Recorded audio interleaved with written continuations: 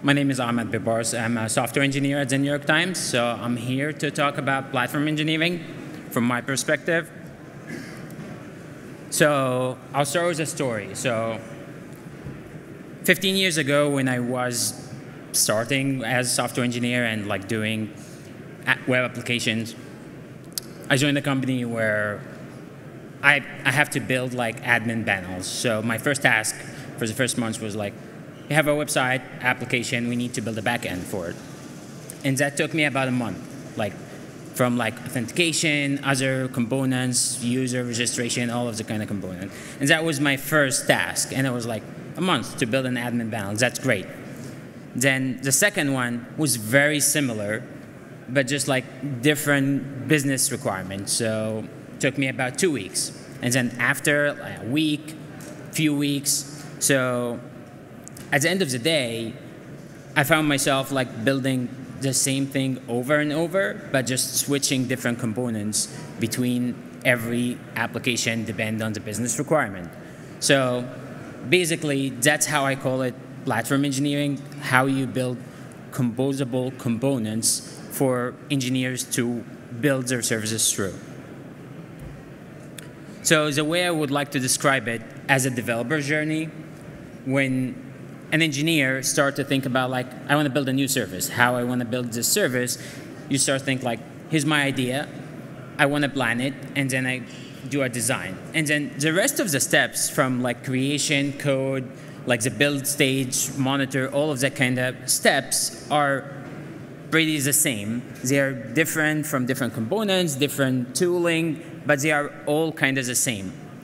So at the New York Times, we looked at all of the steps and decided like, how can we make this process and developer experience much better? How we give our engineers a better developer journey so they can build with. So we defined it as workflows. So we defined multiple workflows for engineers to walk through when they decide to build their service until like they get their service ready in production. And you can see here like here's all the workflows that we have walked through and built. So let me give you an example, and this is an actual example. As a developer, I want to build my service. So as an engineer, I will go to the create step or the onboarding process. I will say like, I'm from team A. I want to build a service in Go, and it's Dockerized, and it has a public interface. That's all I need to say at the initial onboarding step. Once I've done this, which takes me about five minutes, I will just like go find a repo or a Git repository with like all of the code and all of the templates that I have. And actually, my entire service is being built and have all the components from a CI, CD, runtime, cloud resources, and ingress as well. So like the entire steps take about five to 15 minutes to build a new service, and then I get all of the necessary tooling around. So the idea here is all I had to do as an engineer is just like to think about what exactly is that I need to have my service to do. So I need to build an login service, authentication service, uh, KubeOn service, whatever I need to build, all of the tools are here that I can use to just start implementing my logic.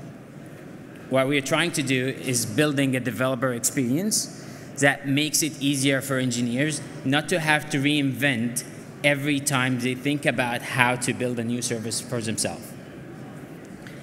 And the takeaways from this uh, process that we have built inside the organization is first of all, if we want to build a platform engineer as like a self-service, we have to have a robust user documentation to ensure that users don't have to ask too many questions. We still have to support them, but like user documentation is pretty critical to them to be able to self-service uh, their requirements. Adaption, we are in the second year of like building platform engineer, platform, uh, internal developer platform at the New York Times. So we had to work and partnership with many teams to ensure that like we understand the requirements that they need for their services. the most important thing for us is to think about the platform as a product. It's not project.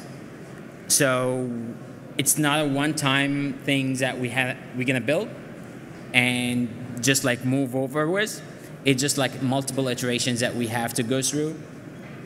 So it, it, will take time to like get mature and like understand what we really need to build in the organization, what kind of concepts that we need to rely on. And at the end of the day, customer feedback is important. Like you need to have a North Star metric for your implementation and for your platform. So you can understand like how you evolve from like year to year, week to week, month to month over. So you would uh, have a, a really good experience for your engineers.